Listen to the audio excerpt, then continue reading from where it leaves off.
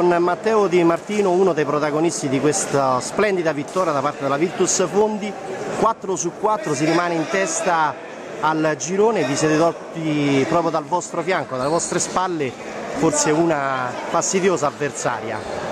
Sì, una squadra molto fastidiosa, sapevamo che era dura, l'abbiamo preparato molto in settimana e oggi il campo ci ha dato ragione. Adesso siamo solo all'inizio e ancora è lungo, sappiamo di non aver fatto niente, il campionato è lungo e speriamo bene. Ecco però in un, uno scontro molto molto importante vi siete dimostrati squadra a questo punto da battere. Eh, i fatti dicono questo, e adesso col tempo solo il campo ce lo dirà questa cosa. Sicuramente lo Scari ci ha dato tanto filo da torcere, complimenti a loro e in bocca al lupo per il campionato. Mister ehm, Andrea Cardillo, una sconfitta pesante per il suo Atletico Scauri, sicuramente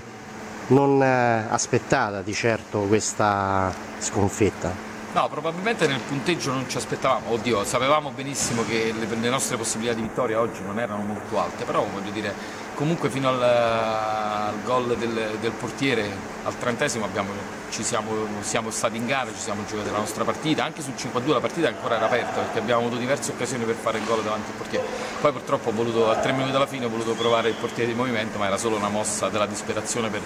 quantomeno accorciare le distanze. Ecco mister, ma nel secondo tempo veramente una squadra trasformata, primo tempo molto più votata all'attacco, difendeva molto bene, riusciva a ripartire anche meglio, nel secondo tempo forse loro hanno alzato la pressione e per voi non dico che si è fatta notte fonda, anche se sapevate respingere gli attacchi loro, però forse con minore incisività. Sì, in effetti siamo stati meno incisivi rispetto al, al, primo tempo. Loro è vero che hanno alzato la pressione, però noi negli spogliatoi avevamo preparato delle, delle contromosse adeguate, cioè quantomeno avevamo cercato di,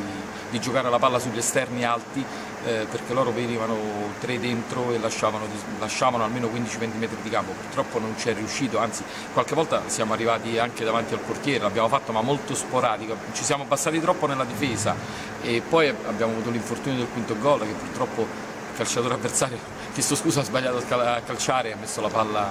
nell'angolino.